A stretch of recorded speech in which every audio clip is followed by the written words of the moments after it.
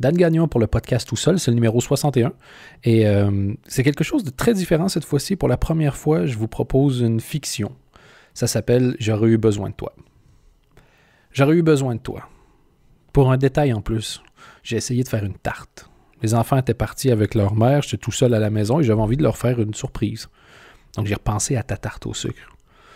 Je me souvenais que ça me faisait vraiment plaisir quand t'en faisais et j'espérais que les enfants soient aussi contents que moi d'en trouver une à leur retour. J'ai cherché la recette que tu avais écrite à la main. Je cuisine pas souvent, mais je me souviens du papier. C'est une vieille feuille jaunie qui a au moins 30 ans. Il y a encore de la farine collée un peu partout et avec le temps, ma l'encre s'est effacée. Et une ligne a disparu partiellement. C'était pour la cassonade. On voyait plus quelle quantité mettre et dans l'excitation du moment, j'ai pas réfléchi. Je me suis dit, bah, c'est pas grave, euh, j'allais t'appeler. Mais non. J'ai sorti le téléphone de ma poche puis je me suis retrouvé comme ça, tout seul dans la cuisine, figé. C'est quoi le pire, c'est que j'ai encore ton numéro. Jamais réussi à l'effacer. Et c'est con, hein? C'est une tarte. J'y avais même pas pensé depuis trois ans, ça veut dire que c'est pas si important. Mais tout à coup, c'est devenu la chose la plus importante du monde. Je me suis souvenu du goût, très précisément, des mois de novembre où tu les faisais pour l'année, du goût de métal de la cuillère avec laquelle je grattais le bol quand il en restait un peu avant la cuisson, l'odeur dans la maison, la musique que tu choisissais en cuisinant, l'air content de papa quand il rentrait en voyant les tartes.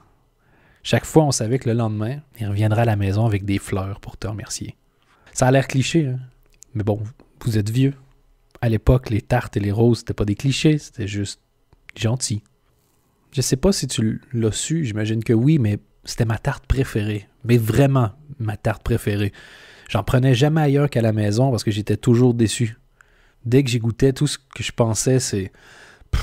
ça goûte même pas comme c'est la maman. J'en ai mangé des centaines de fois, sans m'en rendre compte, sans savoir que c'était important. Des fois quand je me réveillais la nuit, parfois quand je revenais de l'université, quand j'étais tout petit en cachette. Mais là, c'est fini. Parce que l'oncle, ça disparaît. Et toi aussi. C'est fou de se dire que la recette a disparu à jamais. Mais c'est comme si plus ce qui te représente s'efface, plus toi, tu refais surface. Qu'on se comprenne bien, c'est vraiment pas agréable. Mais chaque fois que ça fait mal en repensant à toi, on se dit, ben, il y a ça de beau avec la douleur. Ça aide à garder un souvenir vivant. Et d'ailleurs, si tu veux tout savoir, finalement, j'ai fait du gâteau. Tout le monde était content. Moi, j'en ai pas mangé. On m'a demandé pourquoi. J'ai pas répondu, j'ai souri. Les enfants souriaient aussi. Si ça se trouve, ils vont aimer mon gâteau comme moi j'aimais ta tarte. D'une certaine manière, c'était une belle journée, mais quand même. Si tu savais comment j'aurais eu besoin de toi.